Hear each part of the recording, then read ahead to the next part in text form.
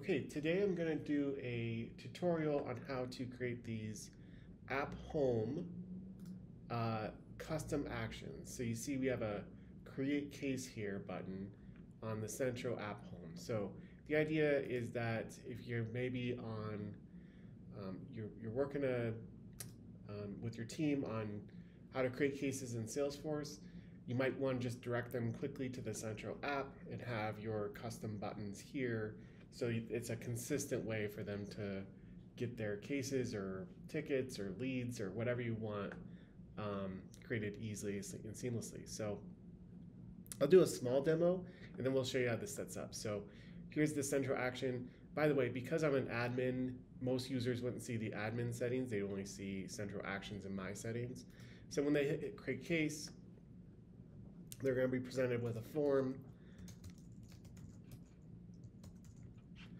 and when they save, it can kick off any number of actions. You can send it to a triage channel, you can post back to the user and a message that their case was created, um, and then manage the ticket the way you want. Um, we have a lot of videos and tutorials on that, but for today I just want to show you how to get the action in. Here. Okay, so this is leveraging an existing function we have, which is around um, this ability to create custom um, slash commands. So um, let me show you this first. So if you type in Centro, you'll get this ephemeral message with all these actions. And here is the create case custom action. And in fact, we can create as many of these custom actions as you want. And so users can access them through the slash command.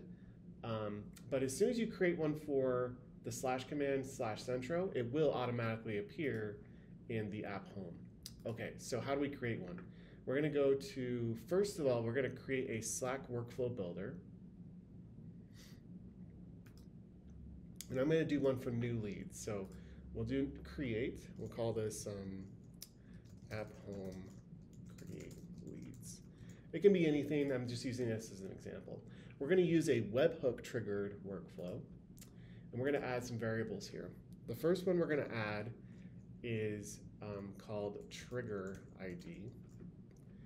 And that's going to be of type text, all one word, all lowercase. That is important. It is case sensitive. So now we're going to use um, user ID.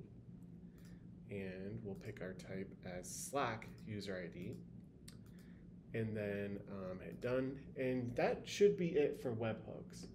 Um, and I'll show you why these are important in a moment. But um, we do need to use a webhook triggered flow because that um, app home um, doesn't have any other context, any channels or anything, or shortcuts or anything, so it has to be a webhook. Okay, so we're gonna hit next and add our steps. So the first thing we're gonna do is um, submit a Salesforce form and we're going to um, pick the automation user, that's fine. Um, and we're gonna send, we're, we're gonna, normally we would ask the user to click a form button first, but we're gonna hit the don't send a message. And so that, that way the modal will appear instantly. So we're gonna insert a variable and use the trigger ID we set up in the workflow, the webhook trigger. Um, we can have a confirmation message that says, um, you know, something like, Thanks for registering the lead. And then we pick our object, the lead object, and add the fields that we need to add. So maybe first name,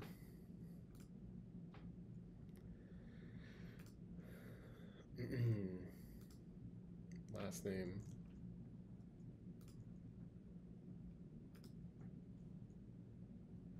company. And maybe uh, lead source.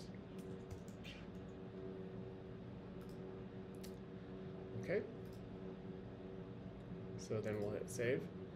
That will be our form step, and then we can optionally post that record back to the user acknowledging that we um, got it. We can also send this to maybe a leads channel we can do a lot of stuff from here now that we've got the lead registered. Um, in, in this case, we're going to use a conversation variable of where to send this um, confirmation. Um, we're going to use the user ID. We're going to use their mention. So this will post back to the um, Centro App Home Messages tab. And we'll insert the lead record. And we're not going to link it. And we'll hit save. All right, so simple example, but the idea here is that we're gonna grab this webhook URL, we'll hit copy.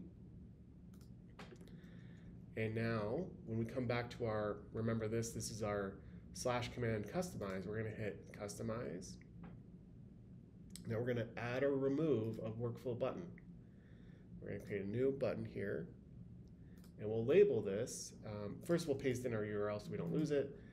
Then we will um, maybe do something fun like we'll do the star, which is typically uh, a new lead. Create lead, and we can optionally give it a slash can, slash can, command name. So if people need to, or if people like using slash commands in Slack, no problem. We can just call this new lead. And so they would type slash centro space new lead and invoke the same thing. All right, so now we should have our new button and that will pop up here. But now when we go back to the app home and refresh, we have our new lead or create lead button. So now they can hit create lead. Here's our form and there you have it. You have your um, new lead action or any Salesforce custom action um, available in the Centro app home. Uh, let us know if you have any questions.